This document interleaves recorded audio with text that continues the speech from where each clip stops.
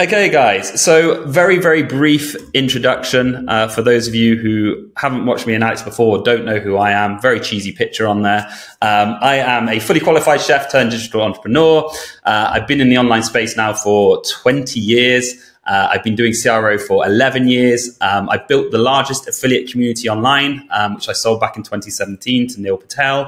Uh, I started in CRO in 2012. Um, so, as I said, I've been doing this for quite a long time now. Um, and we've built frameworks as a company that are now used by millions of sites. And when I say frameworks, for the first sort of seven, eight years of our business, we were very much uh, focused on landing pages, on design, on conversion principles. Uh, and we were deep into the trenches. My agency, Conversion Wise, uh, has built more landing pages than any agency on this planet, something I'm very, very proud of. Uh, and those frameworks we now uh, share with people uh, and are used across millions of sites online. Um, lucky enough to co-found uh, alongside my amazing founder uh, Andy. Um, ConversionWise back in 2013. So, who is ConversionWise? Um, as I said, we have more, built more landing pages than any agency on this planet. Uh, it's actually probably closer to 7,000 pages now. Uh, we've worked with 3,500 plus brands. Majority of those are e-com brands over the past 11, 12 years. Uh, we now have 11 to 12 years experience, and as you can see, some of the amazing names uh, that we've worked with. I'm proud of every company we we uh, we work with, but I, I, must always shout out as a huge football fan that we do CRO for Lionel Messi, and that's something that again I'm I'm incredible, incredibly proud of. But first, let's have a look at the hierarchy of conversions before we actually get into these conversion principles, and before I show you what actually is going to move the needle let's first and foremost look at the hierarchy. Whenever we come onto someone's site or we talk about uh, conversion rate optimization, there's some really important principles that need to be uh, addressed first and foremost. And you can look at all your tests from this perspective. So first and foremost, we start from basically the bottom of the pyramid, which is a bit strange, but we say, one, is it functional? So it's really important to make sure that your website actually works the way it's supposed to. So making sure it's device compatible, browser compatible, it's free of bugs, people can actually use it is, is an incredible place to start. That's where you want to be starting. Then we move on to accessibility. So can people access it regardless of their tech savviness? I think as marketers, we fall into that bracket that we know how to work every website, but your average person doesn't. So sometimes, you know, it's, it's the same when you're a product owner and all you want to talk about is features because you're so proud of all the shiny objects, you haven't actually looked into the benefits of how it actually works for the customer. So it's the same with your website. Can, can people access it quick enough? Is that funnel easy to use? Usability, is it user friendly? So check on mobile, tablet, desktop. Can people use your website? Can they navigate? Can they get to the where they want within a few clicks? You're not making, making sure that that user journey or that buying journey is, is short enough so that people can get to that kind of money page or that, that checkout page quick enough. When it comes to things like uh, responsiveness and uh, brow- cross browser compatibility, you want to check out browser stacks. Now it's quite expensive, um, but it's a great kit that basically tells you how your website performs on different browsers on different uh, um, uh, devices, mobile versus tablet, but it also goes down to device specific uh, based on manufacturers. So iPhone versus Android versus iPhone 11, iPhone XR, etc. Um, so that's a really good one to check out. Usability testing, 100%. Um, so you, you want to Google something called five second test. Uh, and I think it's called Usability Hub. That's an affordable usability testing solution where you pay basically per person who's going to test your site. Um, and there's various different tests that you can use. The five second test is really good. Um, that's great for value proposition. So what that is is they will serve your page, your site, your landing page to 20 random strangers. They have five seconds to look at it, and then you can ask them any questions that you want. So you could ask them questions like, "What are we selling?" You can ask them questions like, "What is the benefit of the product?" And you'll get responses that people will say, for example, I have no idea what you're selling, or we think you're selling X when really you might be selling Y. So that's a really good test. And then you want to also look at user testing. So we use a company called Conversion Crimes, um, which are very good at user testing. But there's various uh, there's various companies and solutions out there. You'll probably find someone on Upwork as well. But that's where actual users go onto your site and they click through. They go through the buying journey. They add the cart. They go to your checkout. They go to your cart page, uh, and they feedback with any bugs, any issues uh, any problems like that. You can also just hire someone on Upwork who, who can do like a, a kind of a walkthrough of your site and give you a bit of a QA. Um, that's always worth it as well. You, you don't have to pay loads of money for that, but you can do this yourself. You know, getting friends and family to go through your site, different devices, different uh, browsers. Um, just spend a little bit of time to make sure that you're checking your sites for sure. Um, then we move down to uh, intuitive. So does the, the site sales process match the, the sequence? So is it intuitive enough to sell? And then is it persuasive? Are the copy, the images and the designs uh, convincing users to buy? Now, this is just a really good way of looking at your site. We're now going to go into what I call conversion principles. So these are the actual conversion elements that really move the needle when it comes to turning a click into a customer. Because ultimately, what we're trying to do with conversion rate optimization is we're trying to make you more money from the exact same visitors. So we're not here talking about, you know, all the things that Alex is a genius at, scaling meta ads, driving more people to your site, getting more hits. We're talking about the amount of people that are coming to your site, making the most of them. And ultimately, what you want to be tracking when it comes to CRO and your website is revenue per visitor or revenue per session. So how much money am I making per click per person on my site?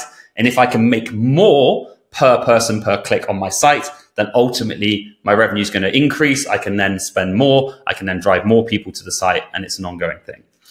So what are the conversion principles? And don't worry about snapshotting this. Don't worry about looking at the text. I'm going to go through each and every one of these for you. I'm going to give you real life case studies of A/B tests that we've we've dro- uh, driven at ConversionWise, my agency, uh, and I'm going to go through each and every one. Also, at the end of the of the presentation, there's a slide where you can download this as well. So I'm going to give this to you free of charge as well. So number one, we start with irresistible offer. An irresistible offer is super, super important. We start with an irresistible offer what can you do as you look at your product, as you look at your sales page, your product page, you know, wherever you're selling, what can you do to make your product or your offer more irresistible? How can you make it seem more valuable on that front end that people just think it's a no brainer offer? So I give you some examples here. You can include a bonus item for first time purchase. Now that doesn't have to necessarily be a physical item, but it could be. It could be a lower valued SKU. You could sell a necklace with a matching pair of earrings that don't cost you that much. You could be selling sunglasses with a free case because it doesn't, it costs you 50p. So is there anything that you can add to your product pages, to your product to make it more irresistible? Again, it doesn't have to be a physical item. It could be something I'm going to show you on the next page, but it could be something like a membership. It could be uh, insurance. It could be uh, a free workshop. It, you know, it doesn't always have to be a physical item. And I will show you on the case study a great example of that in the next slide. Could you offer a free gift? Could you gravitas the offer by offering a buy one, get one half price or buy one and we'll throw one in half price or buy one, get one free offer? So first and foremost, look at your pages, look at your products. This works particularly well if you have single SKU stores or you have uh, some SKUs that are selling very well. How can I make it more desirable to my to my customers? So we move on to the case study. Now, this is a wireframe, obviously due to client confidentiality. I can't show the exact before and after designs, but what I will do is I'll show you, uh, tell you which niche they're in and point out exactly what we changed. So this specific client was a, uh, I think it was an eight figure client. They were doing, uh, selling a lot of, uh, basically barbecue, barbecue stuff. So, um, stoves, ovens, barbecues, uh, you know, lighter fluid, charcoal for the barbecue. They were like a, a kind of go-to barbecue store. And what we did is we took their best-selling product and we, we attached a free barbecue cooking book. So it's a digital download. We didn't have to physically send it to them. Yes, obviously the company had to pay to get that, that ebook uh, developed once, but it was a one-time payment. It was a one-to-many thing. You know, it might have cost them $500 to get this simple ebook, a cookery book, uh, done, and then it's just digitally delivered to them via Shopify every time someone purchases that product. But we A/B tested having the product without the ebook and then having the product with the ebook. As you can see here, we just put a, a, a small snapshot underneath the uh, underneath the the product image with a call out that says free ebook included. We have a picture of the cover of the ebook, and that added an additional sixty eight thousand dollars uplift in revenue per month. Just from adding that free book ebook to the specific product on that product page. So when we run A/B tests, um, unless we're taking bigger swings, um, and that's probably something I, I, probably should have said at the start. So the the way we we look at uh, how we segregate our clients, because we have two solutions. We have a design solution where we design stores and pages for our customers, and then we have our ongoing CRO A/B testing. Uh, it's more than A/B testing, but but that the, the solution uh, where it's an ongoing service. We split it into volume of data. So we say if you have under 100,000 hits per month, you're better off taking bigger swings because you don't have the volume of data to quantify a winning or losing test quick enough. You're better off just redesigning your store, your product pages, and taking uh, a split test. So one page versus another and having it dramatically different. If you're above 100,000 sessions per month, then you can quantify tests quick enough. You can quantify them. Typically, you should run tests for two weeks anyway, but you can you can get to statistical significance a lot quicker to figure out if it's a losing or a winning test. And typically, if you're above 100,000 sessions per month, Alex, you'll know this. You already have something that works, so you don't want to disrupt that. You don't want to pattern interrupt. You don't want to completely change it by redesigning everything. And that's one mistake we see a lot of brands make is they'll come to us and be like, "We have half a million sessions. We want to redesign our store." We're profitable. And we're like, no, like that's the worst thing you can do. It's the worst thing because A, you probably have a lot of repeat business. And when you have repeat business, people are used to using your store. Uh, and if you change it, those people will, will, will bounce. And B, you don't know that that's actually going to maybe tank your conversion rates. So the better way of doing it is iterating to success. It's running A/B tests, usability tests, price offering tests, uh, uh, offer tests, etc., to iterate to higher profits. And that's what I'm showing you here. You know, these guys were doing some serious volume, but by just adding literally this uh, this graphic below the the product image and giving away a free cookery book with the barbecue product, we managed to increase their revenue per month by over $68,000 just from this one test. So this is the exact same traffic going to the page, the same people, but just having that irresistible offer $68,000 in additional revenue. The free ebook offer won't work with everything. For example, jewelry, you're probably not going to use it. You know, apparel, you probably wouldn't put a free ebook with t-shirts, but something like a, a, a cookery item or, uh, you know, like, like this example of barbecue, you're, you're exactly right. It was just a, you know, something like 30 recipes to impress your, your mates at your next barbecue. Um, and you have someone on Upwork, you know, or take the pictures and you have someone on Upwork write the recipes. It's a digital download and it just gets sent. Um, it, it, works on high ticket items very, very well um, because typically high ticket items will be, you know, things that are more like physical big goods that you use. Um, but yeah, ebooks, not for everything. Like I say, they wouldn't work on like a, a jewelry brand or uh, on an apparel brand or maybe a supplement brand. You can test it. I, I, don't think we've actually tested on supplement brands, but maybe it's like, you know, if it's, if you're selling, for example, creatine, it might be like 10 exercises to get swole in six weeks or something like that. Um, those things could work. I would, I would try it for, for the cost of getting an ebook designed and developed on Upwork, $100, $200.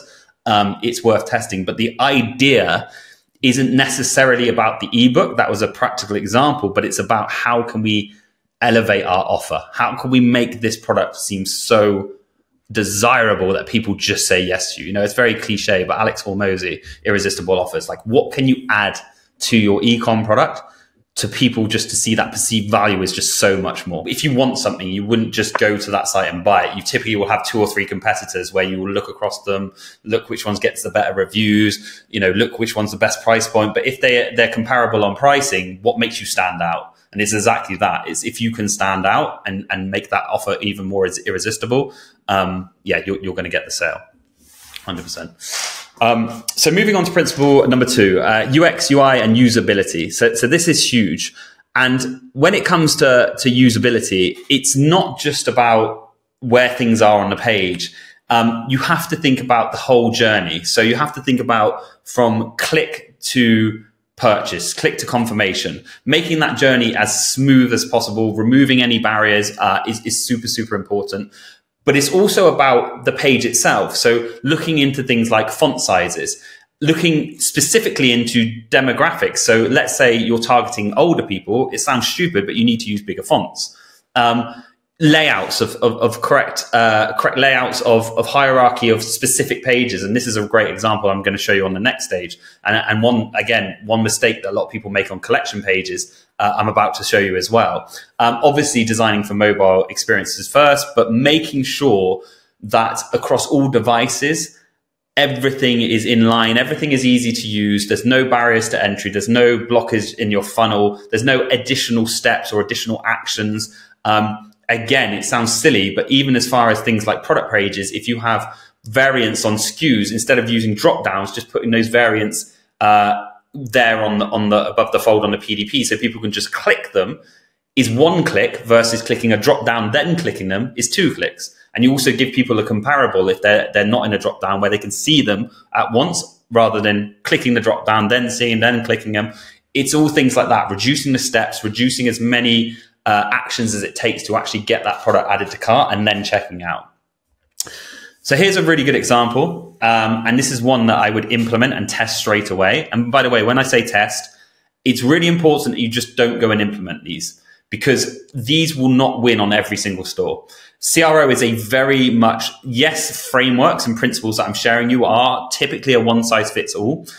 But CRO and A/B testing is is specific to your brand. It's specific to your audience, your attribution channels, your demographic, uh, all of the above. So you need to be cognizant of testing these, not just implementing them. So when it comes to A/B testing, I would personally use something like Convert.com. That's what our agency uses. Um, we are the fastest ever uh, platinum partnered agency on Convert.com. We love it.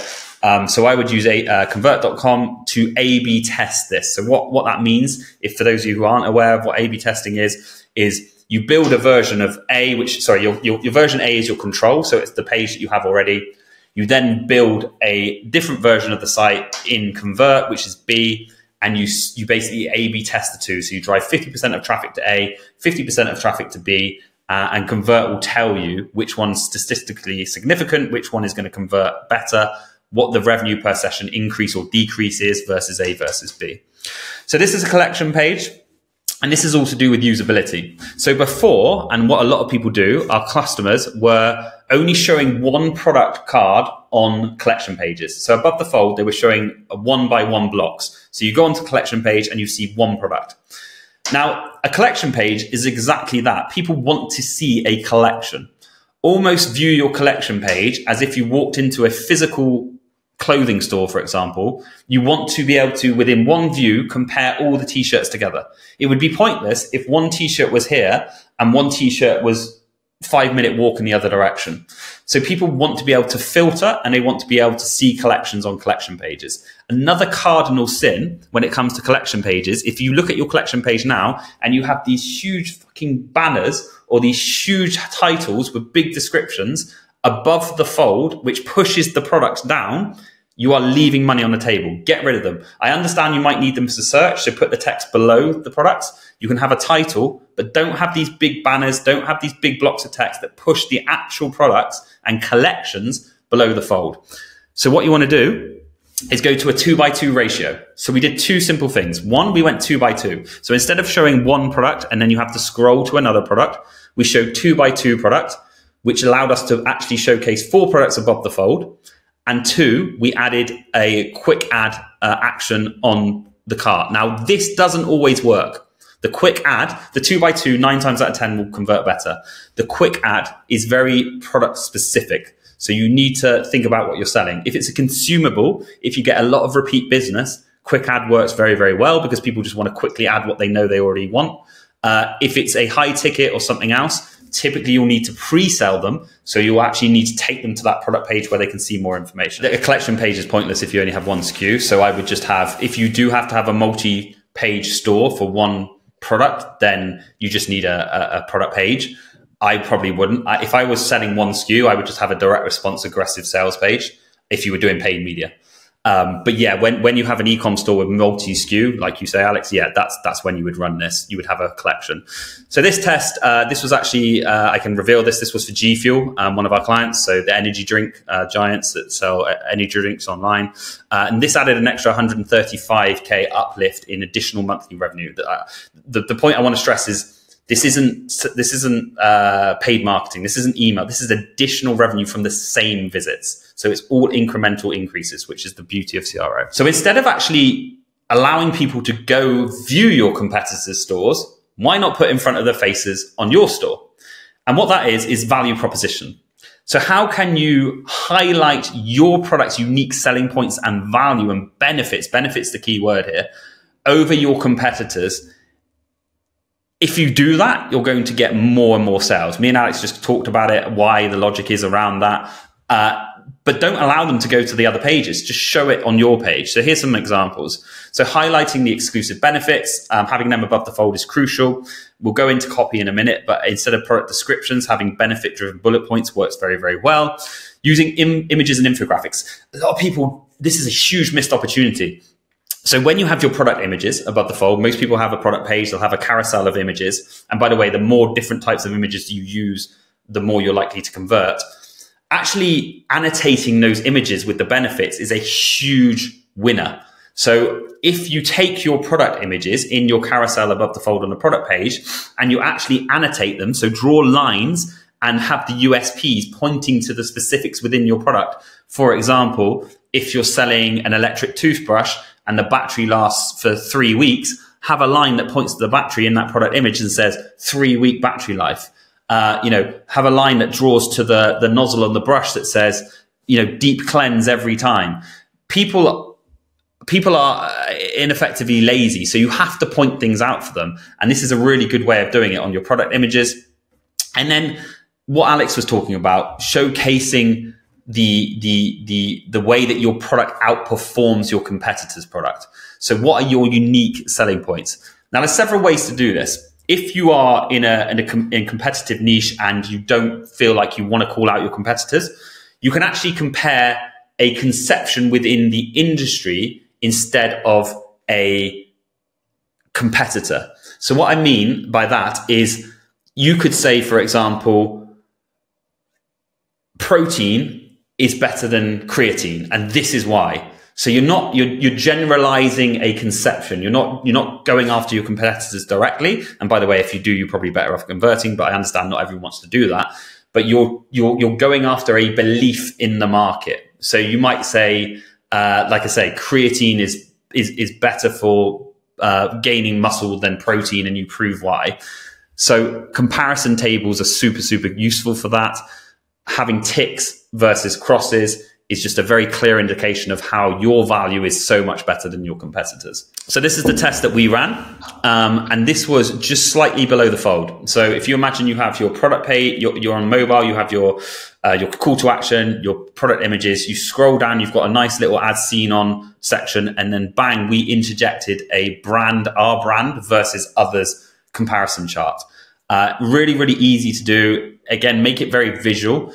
The more text you have on this, the, the less it's going to convert. You just want very clear statements and you want very clear ticks versus crosses. Don't use like stats or figures because they're not as visually appealing as like a, a nice tick versus a cross, yours versus the other. So just interjecting that one simple section on one of our uh, clients' pages, uh, an, an, additional 32, nearly 33k uplift in revenue from this one specific test. I often see uh, this comparison table, oftentimes they're putting it like lower. Uh, that converts better in your experience. Uh, no, so I would, I would, our frameworks actually teach that you should put it lower. Um, for this specific test, we did do it higher. Um, all I can, uh, all I can say is I, I, think that was probably due to the specific product that we were selling was in a very, very competitive niche. So the comparison was super, super important. So they just tested it above. Um, it goes without saying that elements obviously higher up the page are more likely to get viewed. So it was a very, very important principle within this specific test uh, that they tested it above the fold. So it's worth testing in both locations, but on this specific test, this worked just below the fold because we were trying to break a hugely competitive. This was actually for a female supplement. So it was a female, uh, almost like an AG1, like a, a Athletic Greens daily supplement where they were trying mm-hmm. to break into the UK market and they were going against brands like AG1. Um, so they needed to quickly showcase how they were better than those brands because they didn't have the brand value or following already. Social proof, everyone knows about this. Um, I banged on about this for, for years, probably on Alex's YouTube channel three, four years ago. Uh, we, we kind of talked about this stuff, but you cannot have enough social proof on your pages. Don't just think that social proof stops at uh, a kind of testimonial or review section. Social proof should be everywhere. It should be on your collection pages. It should be within your carts. It should be within your checkouts if you're using Shopify Plus. Um, social proof is is crucial. So it leverages human trust and instinct. It leverages other people's emotions for your own credibility. So it's a good way of saying, "Hey, we are socially trusted. We are reviewed or rated by other people. Therefore, uh, I subconsciously now trust this brand because of the social proof that they're purveying." One really cool thing that you can do, and you'll see this on this example here. This is a jewelry brand that we work with. Uh, above the fold, we added a testimonial below the main CTA. Now, we did this for two reasons. One, social proof, ticks a box, amazing. But two, testimonials are really amazing bits of real estate to handle objections. And what I mean by this, and we'll go into this later on in the presentation, but if you are not doing post purchase surveys, you should be. But if you survey your audience or you speak to your customer support centers and you ask them what the most common objections people are coming up with before purchasing your product, try and find a testimonial that answers that objection. For example, if we're selling jewelry and people are saying that they're not sure the, the quality or the finish of the jewelry, find a testimonial that straight away says, I was amazed by the quality and the finish of the jewelry.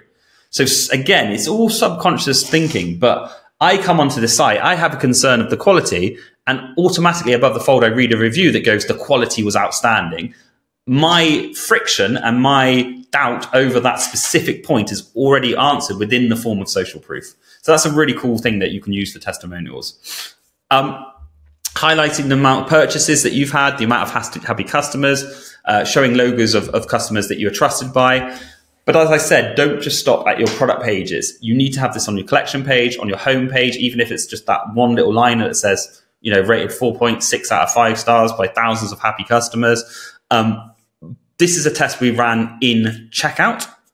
So Shopify Plus, of course, but adding an actual physical testimonial that again handled an objection just below the call to action within the checkout itself this was a low volume store, so this is a big win for this client. This is this is you know this is a huge incremental increase in revenue.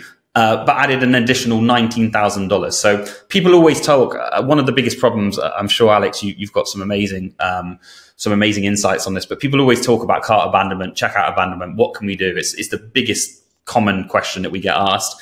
These are the things that you can do, and I'm not saying you have to use Shopify Plus, but you can do this within the cart. So within your cart, having trust seals, and we'll talk about that next, but having social proof or reviews within the cart uh, really, really helps uh, that kind of abandonment rate because you're just further cementing your authority, your credibility, and people are more likely to check out for sure. Trust and credibility, it goes hand in hand with social proof. They're kind of the same thing, but trust and credibility is more around what can we do on our pages to instill trust and to make us uh, as trusted as a brand as possible. So if you're selling through direct response, which I guess, you know, most of Alex's audience is, you're doing paid marketing, you're sending to brands that aren't specifically, for example, on Amazon or aren't selling through third party trusted platforms. How can you make your brand seem real? How can you make it seem trusted and credible to a cold audience?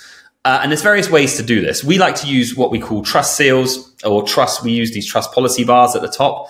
What that is, is underneath your na- navigation, you can just have a very, very thin line that you can kind of see here. This one's not under the nav, but you can see here that is a thin line of three to four icons plus text. And what you want to do is you want to have a look at your company and think, what are the USPs that make us really trusted? For example, are we made in America? Are we vegan friendly?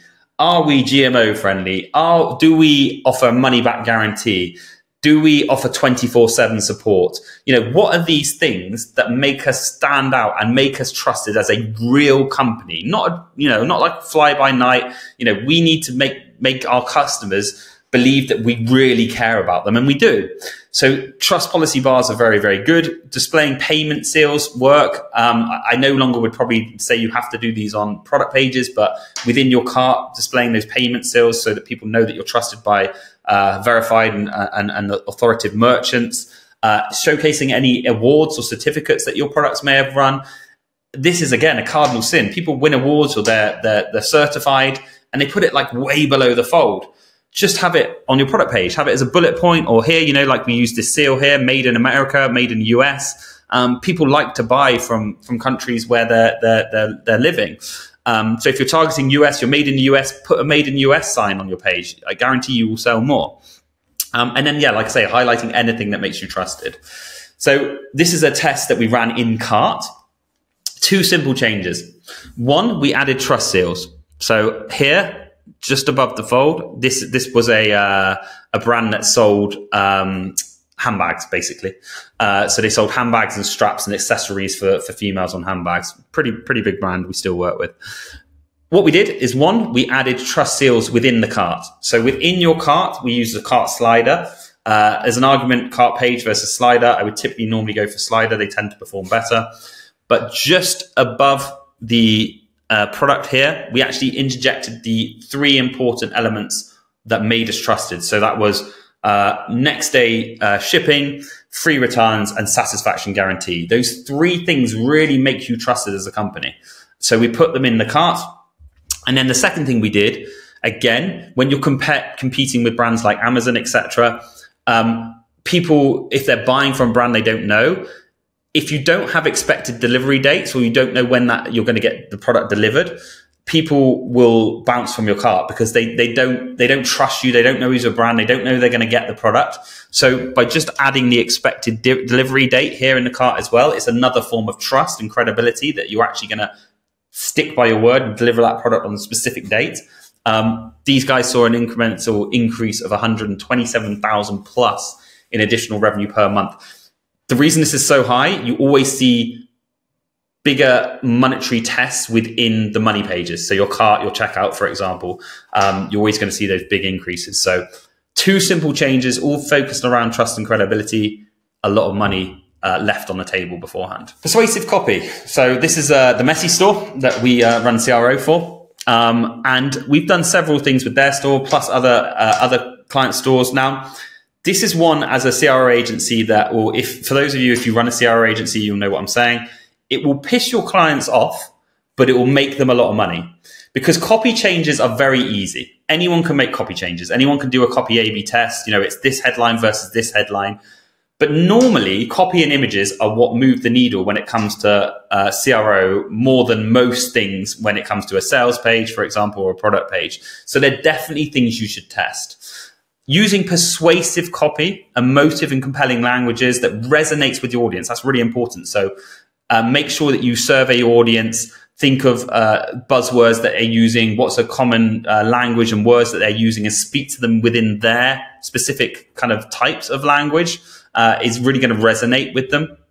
Um, using compelling, uh, benefit focused headlines. So again, old cliche features tell benefits sell focus on benefits over features always talk about how it's going to benefit them as opposed to what the product is and does people care less about how they get out what they want out of your product and more about what actually they are getting out of their product um, so lead with them lead with what actually uh, is your customer going to get out of this product how they how is it going to benefit them uh, how is how is the how are they going to get that end value that they're purchasing. Then you can tell them how you deliver it with the features. Um, and dress your audience directly. So this is a really good one. Uh, for, for, those of you who are doing ecom, this works, but also for those of you who have uh, courses or me- memberships, talking uh, and using the word you and almost talking to someone as if they already are a customer works very, very well. So when you join today, once you've purchased, once you've received your product, you will get this benefit. You will be the envy of your friends, not just like be the envy of your friends. Speak about you, get them into the mindset that they've already purchased your product. Really, really simple test. Anyone can do this. Anyone watching this workshop, go and do this on your best selling SKU. And I all but guarantee you will see an increase in revenue per visitor changing your boring descriptions of your product to benefit driven bullet points. Really easy exercise. Go to ChatGPT, give it your description, your product description right now, and just prompt it by saying, change this description into a benefit driven bullet point list of three bullet points that talks about the outcome and the benefit to the consumer of the product. And it's going to spit out these short, punchy, benefit driven bullet points, put them in bullet points in your description and highlight the benefits in bold. This test nine times out of 10 again wins, but test it. This was a client we did this for um, $47,000 uh, in revenue every single month just from this simple test. Again, this is a high volume client as well, but just from changing that boring description to benefit driven bullet points, a monumental increase uh, in monthly revenue, which is just um, amazing. You moved uh, the shop, uh, like add to cart button, like above the fold. Yeah, it, exactly right. Instead of having you know five six paragraph, uh, five six uh, lines of text that pushes all the important elements down, condense it it comes back to also that usability uh, slide where it's all about readability, which we didn't really talk about. We talked about font sizes, but readability is so important. So making sure that text is scannable.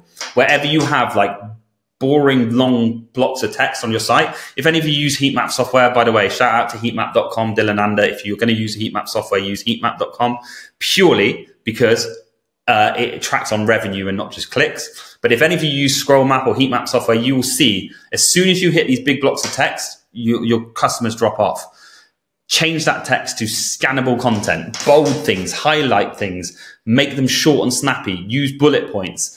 It's exactly that, as Alex said. When you go from five, six lines of text to three hard hitting benefits, you allow yourself to pull up that call to action as well. And I guarantee that will be one of the reasons they saw that increase in revenue. 100% right, Alex. Okay, moving on to the next slide objection handling. So, this is one that a lot of people forget. Uh, every single person that comes to your site will have a doubt in their back of their mind. They'll have some form of question unanswered. They'll have some friction point. They'll have some doubt as to why they won't purchase your product. One of the greatest things you can do is go and study your support tickets or go speak to your support uh, staff if you have them and mine those responses. Have a look at what the commonalities are. What are the questions people ask? What are the friction points? Again, we talked about post purchase surveys. You should be surveying everyone who purchases your product. Use, uh, we use KnoCommerce, great bit of software. Uh, you should be setting up post purchase surveys so that everyone purchases gets a question that says, Hey, thank you for your purchase. Could you just take two minutes to ask us some questions, answer some questions so we can make yours and other people's buying experiences better? Now, some of those questions are specific to your product, but two questions without fail I would ask. One, why did you purchase today? Get some great insight. I purchased because I like this, I like this, I like this. Now you'll find commonalities in between those responses. You can then lean into them on the front end. But really importantly, two, why did you almost not purchase today? Because what you'll find is people will say things like, Oh, I wasn't sure if you delivered to my region. Oh, I, I, didn't know how long delivery took. I didn't know if the quality of the product was what I expected. I didn't know if you did it in this particular color. Whatever it may be, when you start getting data, you will have the same responses time and time again. You can then handle that objection on the front end. So if everyone is talking about the uh, like I said earlier with the with the social proof, the quality of the product, have a headline that just slams home about the quality, the highest quality, handmade quality earrings, whatever it may be. But handle that objection first and foremost before they have that doubt. Another great way to do that is FAQs. So your FAQs should be down the fold, but if you have uh, if you're using, and I'll show you in the next slide, if you're using um, product sliders just below the product page, and I'll show you in a minute, have an FAQ there but use FAQs to answer the most common questions that your support center or your email or you get asked on the phone before purchase. How long is it going to take to take the product? Do you offer a satisfaction guarantee? When will I see X outcome? When will I see X benefit? How often do I have to take it per day? How often do I have to do this, this, this? It's very specific to your product, but answer any doubts in people's minds. If people leave your page or they contact your support with a question, you as a marketer have done your job wrong. Your, your whole, your whole angle here when it comes to handling objections is to minimize your support tickets, minimize pre-purchase questions, as much as you can because you're answering them already on your page. So this is a, a really simple test we used. Um, we decreased, uh, so this is your, your, your product page, you add the cart button as you scroll down just below. Obviously, a lot of us will use these kind of collapsible, expandable tabs with description, shipping and returns, etc. So these guys also had share, contact us. These are not needed above the fold. Get rid of them. Put them in your footer. No one needs a contact page above the fold. No one needs social share icons above the fold. They're all they're all distractions. You don't need them in your nav. Kill them. Get them right down in your footer. But what we added was an FAQ. We expanded this by default because what we found on this particular product, it was quite a, a, a, complicated product, is that a lot of people had objections or questions they needed answering before purchasing. So again, this is why I said at the very beginning, I'd love for every single one of you who view this video or workshop to run all these tests and to increase your revenue on every single test. I would love it, but CRO is very brand and product specific you know, I, have kind of alluded to who each of these tests are as far as clients, as far as the, the brands and the type of products. This product was a very high end product that needed a lot of explanation. There was a lot of questions around it, hence why this worked. If you're selling a simple protein powder that everyone knows what a protein powder is, this may not work. So that's why you test. Um, that's why you don't implement straight away because you want to A/B test. So yeah, very simple FAQ drop down, killing the distractions, 34k in uh, monthly revenue. Um, moving on to the second but last principle, and this is one that I would do when I've not exhausted the rest, but I would get the rest in place. Then I would look into this, and this is around revenue maximization. So how can we take what we're doing already and just increase the AOV, just generate more per purchase. So this is where you can start looking into things like upsells, into bundles, cross selling, um, loyalty programs to bring people back, uh, repeat purchases, so subscriptions. So you'll actually be amazed that the amount of clients that we see still, um, we're very fortunate that we've been going for 11 years. We see hundreds of different brands per month. And it's amazing at how many kind of consumable products, for example, still don't do or try at least subscriptions or bundles. So this may seem obvious to people, but it's definitely something you need to think about and test and look into. You know, if you're a consumable product, you should at least have a subscription option. You should be bundling. You should be trying to sell more of the same product, even if it's done on a post purchase upsell or if it's done uh, on a bundle section on the page because consumable products people will buy all the time. So you need to make it as convenient possible for people to get a discount for purchasing more. If you're selling apparel, you should be trying at least to cross sell within cart to, if you're selling t-shirts, cross sell the sh- trainers that match. If you're selling socks, cross sell the shoes that go with them and vice versa. Um, so there should, there should be uh, revenue maximization tests on your site that you can run. Again, this is one that isn't always a winner. So you would you would assume that in-cart upsells always work. They don't. So it's something that you have to test on each store. And speaking of the tests, two things we did here. This is an in-cart upsell example, but that's why, hence why I said they don't always work because I don't want everyone to think, oh, if I just add an in-cart upsell, it's going to work. There's various ways you should do in-cart upsells we like to gamify it. So what we do is we don't just add an in-cart upsell. We will gamify first and foremost free shipping. So we'll have a free shipping prompt along the top that says, you know, everyone's seen them, but it will say like, add an extra $20 to unlock free shipping, but we'll take it one step further. We will then have a free gift gamified within the cart. So you unlock your free shipping. It then says, why not add an extra $30 and you can win free gift. Now, again, that free gift could be your ebook. It could be a sunglasses case for a sunglass store. Uh, it doesn't have to be, you know, it could be uh, Cuts do this very well. Everyone knows the, the apparel brand Cuts. Uh, you know, they give away caps. Caps probably cost them $1. But you know, on the store, they're thirty dollars. Perceived value is huge. So if I can just spend an extra ten dollars to get a free cap, bang, I'm going to spend it on an extra t-shirt. So again, this is something you test, but always gamify it. Always have progress bars. Don't just slap any random upsell within a cart and think that people will take it. Actually, that will piss people off and people will actually walk away. It has to be a complementary product. It has to be something that goes with the product that you're selling. Uh, and as a visual, I would always, always gamify that. Um, So speaking of gaming, this was actually a computer gaming store. So they sell things like uh, gaming keyboards, mouses, monitors, etc. Uh, and this was a, a very simple in-cut upsell. When they bought monitors, we would upsell them keyboards. Uh, we would then gamify them with a free ship uh, with a free gifting prompt to uh, get like a free mouse, etc. Um, so it, it, you just have to work out your margins on your products and uh, and take it from there. But these these revenue maximizing uh, opportunities don't always always don't always think you have to do these by the way on your store. So these can be really easily tested on direct response sales pages. So you don't necessarily have to change your whole store and change all your product pages to offer bundles.